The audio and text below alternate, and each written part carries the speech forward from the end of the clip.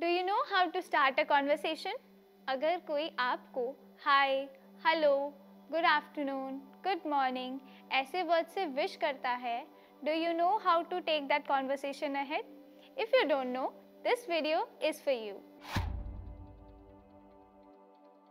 So hello everybody, my name is Arshika and I am going to help you in learning how to start a conversation in English.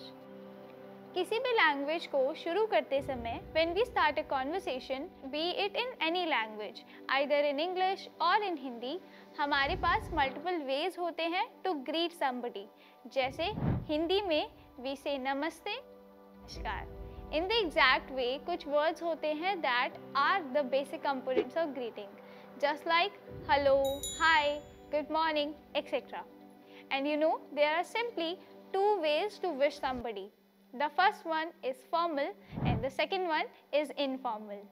जब भी आप अपने किसी Elder अपने teachers अपने parents etcetera इनसे बात करते हैं, इन्हें विश करते हैं तो we talk in a formal tone and we say hello good morning good afternoon depending upon the time we are talking and जब हम अपने फ्रेंड ब्रदर सिस्टर रिलेटिव या अपने किसी क्लोज वन से बात करते हैं तो generally our tone is informal and we can start with the words like hey hello etcetera जब भी आपसे कोई हेलो या हाय विश करता है, या आपको ग्रीट करता है तो you should always greet them in return and आपको ध्यान रखना चाहिए that you should ask them कि वो कैसे हैं.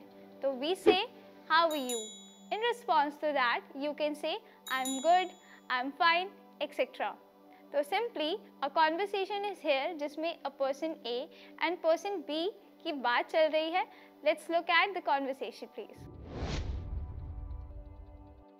Hello. Hey, how's you doing? I'm all well. What about you? I'm fine too. Thank you. कि आपको एक बेसिक अंडरस्टैंडिंग डेवलप हुई है to how to start a conversation the simplest way is to greet and then ask how they are that's it for today's video मिलते हैं किसी और video में in which we are going to learn something new till then have fun and happy learning